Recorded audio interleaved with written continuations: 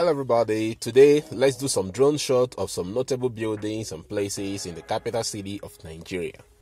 Most of the time I will talk you guys through the places so you can get to know more about those places. But in case you don't hear me talking, just know that I don't know much about that place or probably I'm just tired of talking. please if you haven't subscribed to the channel please subscribe and support this channel just click that red button and subscribe all right thank you for subscribing. And also like and share this video so others can get to see it. And find some time to visit abuja if you haven't been to abuja before. All right so let's get started. Today we start up the video by showing you the city gate which is one of the abuja landmark you get to see once you get into the city especially if you're coming from the airport. You probably have seen this place before. It's just a white huge structure with the Nigerian coat of arms and the national flag imprinted on a map of Abuja. This building is a nice place. Most people go there to take a picture and even shoot a music video. However, I think it could have looked much better if the building has some light in the night, especially if the map of Abuja have some kind of a glowing light reflection at night because at night the building is just so dark because there is no light. Right after the city gate, you'll find the 60,000 capacity National Stadium. This stadium was opened in 2003 for the 8th All African Games. But recently in 2019, the stadium was renamed to Moshood Abiola Stadium in honor of the popular Nigerian politician and a businessman, late Chief MKO Abiola.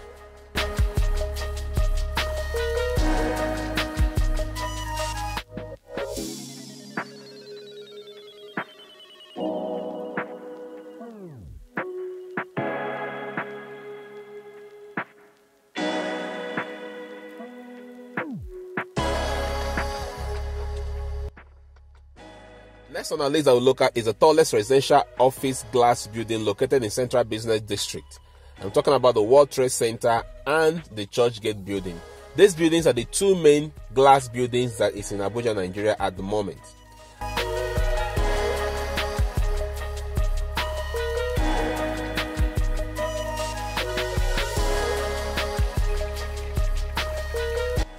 I also done a full video about those buildings. You can check it out if you want to learn more or know more about those buildings.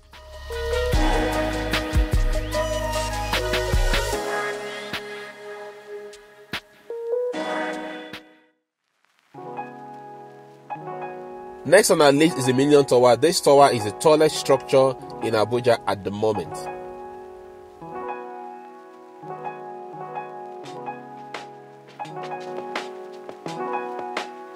Unfortunately, after 15 years, this building is still under construction. Hopefully, something will be done to finish construction sooner than later.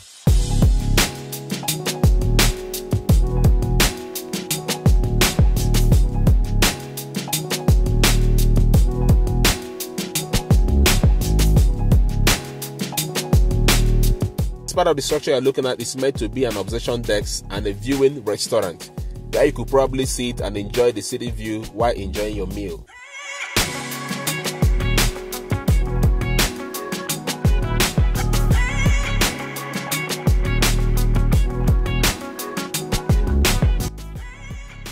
Sure once this tower is completed, it will be one of the best places to go to have the best city view. And of course, it's going to be expensive.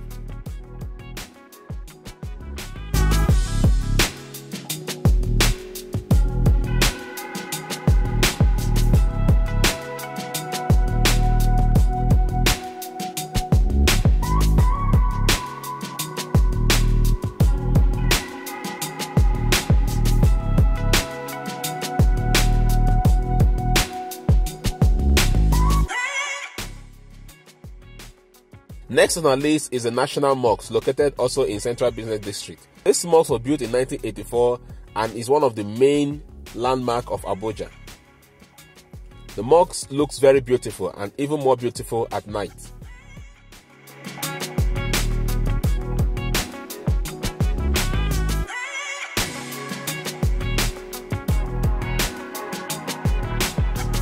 I'm not sure, but I'm being told that the mosque is also open to non-Muslim public except during congregational prayers. So definitely the mosque is one of the site attraction you want to take a look at when you come to Abuja, Nigeria.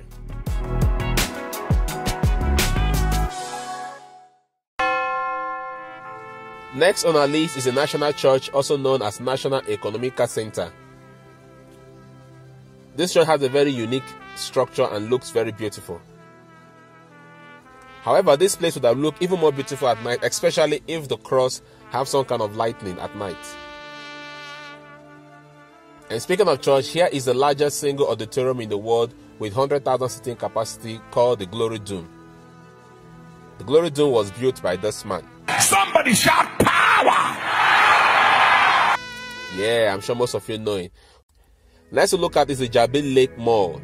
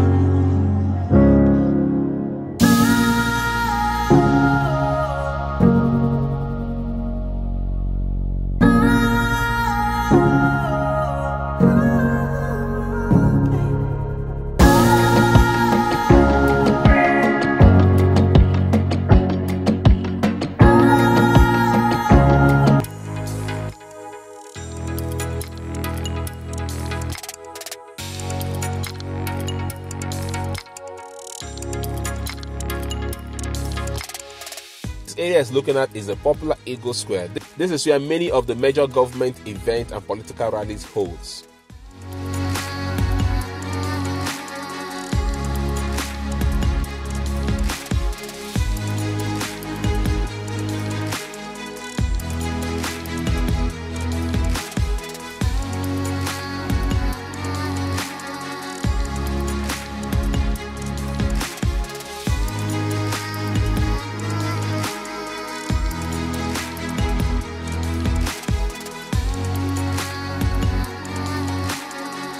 Directly opposite the Eagle Square is a National Cenotaph, also known as Tomb of the Unknown Soldier. The cenotaph is where the Nigerian Armed Forces Remembrance Day normally holds.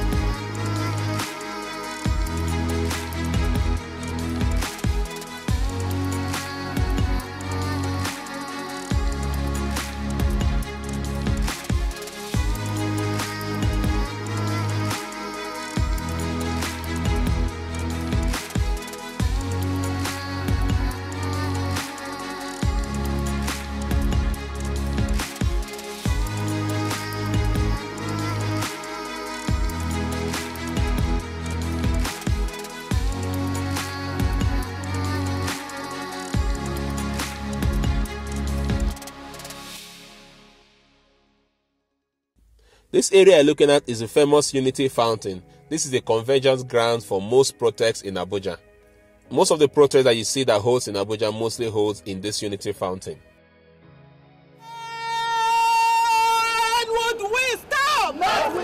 Angry campaigners from the Bring Back Our Girls group marched through the centre of Nigeria's capital city, Abuja.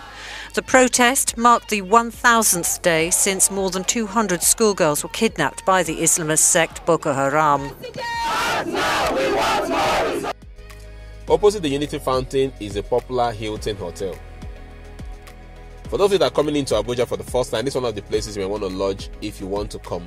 But there are also other good hotels as well in Abuja, Nigeria. Most of this area you're looking at is in